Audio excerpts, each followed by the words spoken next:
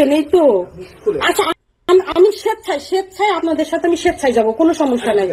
আমি স্বেচ্ছায় যাব আপনারা যদি নাই ফেসবুক স্ট্যাটাস দেখে কেন্দ্র করে তারা থানা- থানায় করে তারা আমাকে ধরতে আসছে। তো ধরতে আসবেন ভাই দিনের বেলায় আসছেন রাতের বেলায় কেন? দিনের বেলায় কি আমি পালাই যাচ্ছিলাম? আপনার এটা এটা যদি দিতে হয় এটা করে দেবো। আপনার আইনগত এমন কোন হ্যাঁ। আমি- কি সন্ত্রাসী? আমি কি সন্ত্রাসী? এত কিছু দরকার নাই। আমি কি সন্ত্রাসী। আমাকে নিতে আসছেন, আমি রেডিও বেরোচ্ছি। যেহেতু আপনারা আমাকে নিয়ে আসবেন। ফেসবুকের থেকে এটাই হচ্ছে তো পুলিশ নিতে আসছে আমি বেরোয় যাচ্ছি তো ওনাদের সাথে যেতে হবে। তো সবাই আমি বললাম কেন বললাম আমি একটু প্রমাণ দিব। একটু পরে একটু প্রমাণ দিচ্ছি। এই কানাডার কারণ পত্রিকা না, এই কানাডার দল-। যখন ক্ষমতায় থাকবে না দল আপনাদের দল যখন ক্ষমতায় থাকবে না তখন কানাডায় কিন্তু আপনাদের শেষ ভরসা হবে শেষ আশ্রয়স্থল হবে এই কানাডা। হাইকোর্ট আপনি- পত্রিকা না। আপনি আপনাকে আমি আমি সবাইকে দেখাবো একটা জিনিস যেহেতু উনি প্রম- প্রমাণ চাচ্ছেন প্রমাণ দিয়েই দেখাবো কারণ এই সন্ত্রাসী লীগটা কেন বললাম? এদের হাতে আমাদের মা বোনেরা কেউ নিরাপদ নয় কেন নিরাপদ নয় যেহেতু উনি প্রমাণ চাচ্ছেন, আমি প্রমাণ সহই দেখছি। আপনারা একটু দেখতে পাচ্ছেন কিনা জানি না। এই যে একটু দেখেন, এখানে দেখাচ্ছি। এই যে সোনিয়া একটা স্মৃতি, এর খুঁটির জোর কোথায়? ইনি সরকার বিরোধী কথাবার্তা বা এটা সেটা নিয়ে কথা বলে আইনের আওতায় আনা উচিত। তো তাকে, ওইখানে কমেন্টে ওই লোকটাই লিখেছে, এনাকে যেখানেই পাবো সেখানেই আক্রমণ করা হবে।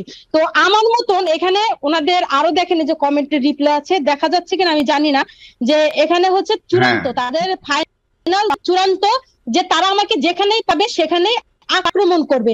এই যে যে হুমকি একজন মেয়ে আমি একজন মেয়ে একজন মা একজন নারী এই নারী নারীরা যাদের কাছে যাদের কাছে নিরাপদ নয় তো তাদেরকে সন্ত্রাসী বাহিনী এটা এটা এটা আজকের আজকে তার ফেসবুক স্ট্যাটাস যে এটা নাম হচ্ছে শামসুল আরিফিন চৌধুরী। ইনার ফেসবুক স্ট্যাটাস ইনি আজকে পোস্ট করেছেন। আমি আবার স্ক্রিনশট নিয়ে আমার আইডিতে একটু দিয়ে সো কিউট লিখে আমি আমি পোস্ট করেছি। উনি কে? শামসুল আরফিন চৌধুরী কে? উনি উনি আপনাদের দলের রাজবাড়ি যেহেতু আমি রাজবাড়ি জেলা থেকে বলছি তো উনি আপনাদের দলীয় রাজবাড়ি জেলা আওয়ামী লীগের হয়তো বা কোনো একটা পদে আছে। এখন উনার পরিচয় যদি আমি বলেন যে এখন আপনি ওনার পরিচয়টা আইনে দেন তো সেক্ষেত্রে আপনার জন্য আমাকে আরও দুই দিন কষ্ট করে হয়তো বা তার পরিচয় আপনাকে দিতে হবে। যদি আপনি কথা দেন হ্যাঁ যদি আপনি কথা দেন না তার বিরুদ্ধে আইনি ব্যবস্থা নেবেন। আপনি কার সাথে কি করে রাখছেন সেটা কি আমি জানি নাকি না আপনার তো আপনি- আপনি- সংকট আছে। আপনি কারোর সাথে পার্সোনালি দ্বন্দ্ব ধরাইলে আপনাকে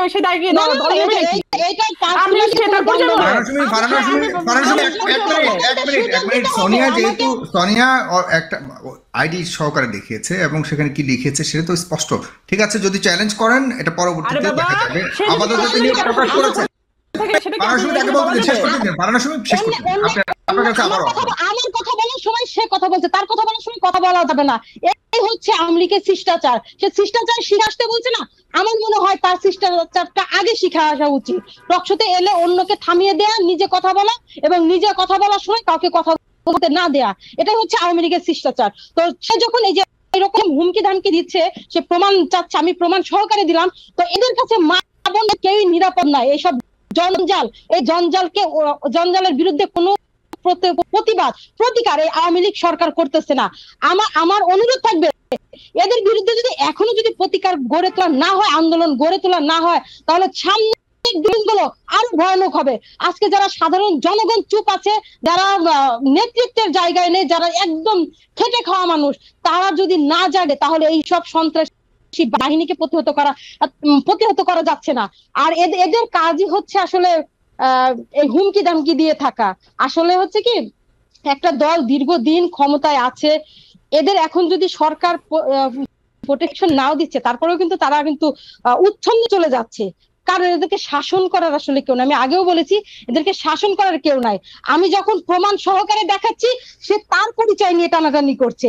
এই হচ্ছে আওয়ামী লীগের শিষ্টাচার। আওয়ামী লীগের শিষ্টাচার কোনো ভদ্র সমাজে আওয়ামী লীগের শিষ্টাচার চলে না। তো ইডেন কলেজের যে সমস্যাটা এটা হচ্ছে সারা দেশের সমস্যা। এখানে সাধারণ শিক্ষার্থী সাধারণ শিক্ষার্থী কোনো মহিলা বা কোনো অভিভাবক ইডেন কলেজের মানুষকে পড়তে দেবে না। যতদিন এই আওয়ামী লীগ রাজনীতি, ছাত্রলীগ রাজনীতি ইডেন কলেজ থেকে সরিয়ে ফেলা না হচ্ছে। কারণ এখন সন্ত্রাসী মানেই হচ্ছে আওয়ামী লীগ ছাত্রলীগ এরাই হচ্ছে সন্ত্রাসী বলে দেশবাসীর কাছে গণ্য হচ্ছে। কিন্তু এই দেশবাসী হচ্ছে জিম্মি। এক পর্যায়ে জিম্মি। এই জিম্মি থাকার কারণে এরা মুখ খুলতে পারতেছে না। যখন মুখ খুলতেছে তাদের প্রমাণ করতে করতে জান বেরিয়ে যাচ্ছে। একটা গল্প আছে না? ওই এক বনে এক গাধা দৌড়াচ্ছে। তো গাধা যখন দৌড়াচ্ছে পাশ থেকে শিয়াল বলল এই তুই দৌড়াচ্ছিস কেন? বলে এই পুলিশ আমাকে ধরতে আসছে। কেন পুলিশ ধরতে আসছে? তো তোর সমস্যা কি? তো পুলিশ বাঘকে ধরতে আসছে। বলে বাঘকে ধরতে আসছে? তো তুই দৌড়াচ্ছিস কেন? আরে যদি আমাকে ধরে বাঘ, ভেবে যদি আমাকে ধরে নিয়ে যায়, তাহলে আমি যে বাঘ না, এটা প্রমাণ করতে এই দেশের সরকারের পঞ্চাশ বছর কেটে যাবে। তো ততদিন আমি আর বাঁচবো না। এর জন্য আমি দৌড়াচ্ছি, তোরাও দৌড়া। তো এর পিছনে সবাই দৌড়াচ্ছে।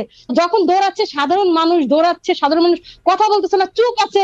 সেই পর্যায়ে এই আওয়ামী লীগ সরকারকে, সরকার লোকজন যারা উচ্ছনে চলে গেছে, তাদের মতন কিছু গুটি কয়েক মানুষ অন্যের উপরে অত্যাচার নির্যাতন নিপীড়ন কর- নিপীড়িত হচ্ছে এইসব মানুষজন। এটা শুধু ইডেন কলেজের এটা শুধু ইডেন কলেজের কথা না ইডেন কলেজেরটা সামনে এসেছে তাই হয়তো আমরা জানি যে এটা সমস্যা হচ্ছে। এটা খোঁজ নিয়ে দেখবেন প্রতিটা বিশ্ববিদ্যালয়ে যেখানে আওয়ামী লীগের ছাত্রলীগের রাজনীতি আছে প্রতিটা বিশ্ববিদ্যালয়ে এই ছাত্রলীগের হাতে প্রতিটা সাধারণ। শিক্ষার্থী জিম্মি। ধন্যবাদ আপনাকে। রাশিদ খান। হ্যাঁ সাগর ভাই যেটি আমাদের সুমি আপা বললেন কানাডার একটি আদালত এবং কোন পত্রিকায় প্রকাশিত হয়েছে? কালের কণ্ঠ পত্রিকা। কালের কণ্ঠ পত্রিকা কাদের কারা পৃষ্ঠপোষক কোন ব্যবসায়ী প্রতিষ্ঠানে সেটা সবাই জানে। এবং তিনি জনকণ্ঠের কথা সবগুলো পেপারে এসেছে সবগুলো এক- একটা আমার কাছে আছে সবগুলো পেপারে এসেছে। আছে আপনার কাছে কালের কণ্ঠ আছে আমি আপাতত অন্যগুলোর রেফারেন্স হিসেবে নিচ্ছি। আমি কালের কণ্ঠকে নিলাম। আরও সবগুলো আছে। আমি আপনার ইয়ে থেকে জানাচ্ছি। আপনি তো বললেন যে আজকে কথা বলার সময় কথা বলা যাবে না আপনি প্রত্যেকের কথার সময় কথা থামিয়ে দিচ্ছেন। আপনি আরে বাবা আপনি ভুল তথ্যটা ঠিক করে দিলাম। আচ্ছা ঠিক আছে ঠিক আছে ঠিক আছে বলুন। হ্যাঁ, বাংলাদেশ আদালত বলেছিল। আপনি কথা বলার সময় যতগুলো কথা বলেছেন প্রত্যেকটা ভুল কোনো কথাই সঠিক ছিল না। কাউন্টার দিলে প্রত্যেকটা শব্দের কাউন্টার দেওয়া যায়। আপনি আপনি এই কথা বললে তো হবে না। আপনার কথা আপনার কোনো কথা সঠিক ছিল না। সুতরাং আমাকে আমার মতো বলতে দেন আপনি পরে টাইম নিয়ে সাগরবার কাছ থেকে বললেন। এরপরে আপনি যেটি বললেন যে জনকণ্ঠের কথা জনকণ্ঠ কোন লেভেলের পত্রিকা? সরকারের সব থেকে বেশি আপনার আমোদি করে জনকণ্ঠ। জনকণ্ঠ তো জনগণের পত্রিকা নামটা নামের অপমর্যাদা করেছে জনকণ্ঠ নাম। এই জনকণ্ঠ পত্রিকা আমার প্রথম আলো কি? প্রথম আলো কি? এই জনকণ্ঠ পত্রিকা আমার প্রথম আলো তো তো আসছে। প্রথম আলোকে নিয়ে বলেন। list এগুলো তো প্রথম আলো সনি হত্যাকাণ্ড এটা তো প্রথম আলোর। এটা তো আচ্ছা। প্রথম আলোর বলেন। আচ্ছা।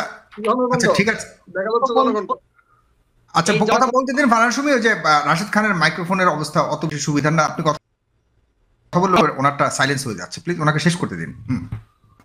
এই জনকণ্ঠ পত্রিকা আমাকে নিয়ে হাজার হাজার নিউজ করেছে। তাও মিথ্যা। আরে ভাই প্রথম আলো তো করছে রে ভাই। খালি জনকণ্ঠ বলতেছে। আচ্ছা ফারান সুমি বলেছে প্রিয় দর্শক আসসালামু আলাইকুম। আপনারা সবাই কেমন আছেন? নিশ্চয়ই সবাই ভালো আছেন। দর্শক আপনারা এই টক শোতে যে ভিডিও কথাগুলো দেখেছেন তো সোনিয়া আক্তার দুঃখিত সোনিয়া আক্তার নামের যে তিনি বিএনপি কর্মী হতে পারে সম্ভবত যাই হোক তো তিনি এই টক শোতে কথা বলেছেন এবং কথা বলার আগে তিনি পূর্বে বলেছিলেন যে আমি আসলে যে কোনো মুহূর্তে গ্রেপ্তার হতে পারি। অবশেষে কিন্তু এই সোনিয়া আক্তার গ্রেপ্তার হলেন এবং তাকে যখন গ্রেপ্তার করতে গিয়েছিল পুলিশ তার বাসায় তখন তিনি পুলিশকে বলছিলেন যে, ভাই, আমাকে আপনারা রাতে কেন গ্রেপ্তার করতে আসছেন? আমি তো মানে পালায়া যাচ্ছি না বা পালায়া যাব না। তাহলে সেক্ষেত্রে আপনারা কেন রাতে গ্রেপ্তার করতে আসছেন? তো অপর পক্ষ থেকে আইনশৃঙ্খলা বাহিনীর পক্ষ থেকে তারা বলেছেন যে, আসলে মানে আইনের মধ্যে কোনো ধরনের সিস্টেম নেই যে, আপনাকে রাতে গ্রেপ্তার করতে হবে বা আপনাকে দিনে গ্রেপ্তার করতে হবে। তো অবশেষে সোনিয়া আক্তারকে গ্রেপ্তার করা হয়েছে। দর্শক আপনার কি মনে হয়েছে যে এই টকশয়ে যে কথাগুলো তিনি বলেছেন, তিনি অবশ্যই গ্রেপ্তার হওয়ার পূর্বে তিনি কথাগুলো বলেছেন যে আসলে আমি যে কোনো মুহূর্তে মানে গ্রেপ্তার হইতে পারে বা আমাকে যেখানে দেখবে সেখানে আক্রমণ করা হবে। আওয়ামী লীগের বিভিন্ন নেতাকর্মীরা কিন্তু তার এই বিষয়গুলো নিয়ে কিন্তু তারা মানে অলরেডি ফেসবুকে পোস্ট করেছেন এবং তিনি সেই পোস্টে দেখিয়েছেন যে সনি আক্তার বলেছেন যে আসলে আমাকে যে কোনো মুহূর্তে মনে করেন যে আমার উপরে আক্রমণ করা হবে। তো আসলে এটা কি কোনো ব্যক্তিগত ক্ষোভ জানানো হয়েছে কিনা? বা সোনিয়া আক্তারের মানে বিভিন্ন টকশোতে তিনি কথা বলেন, সে বিষয়ে কোনো ধরনের মনে করেন যে তার উগ্রপন্থী কোনো কথার কারণে তাকে গ্রেপ্তার করা হয়েছে কিনা বা তার অফারটা কী? বা আপনাদের কি মনে হচ্ছে? অবশ্যই কমেন্ট বক্সে লিখবেন। আজকে এ পর্যন্ত আল্লাহ হাফেজ। আসসালামু আলাইকুম।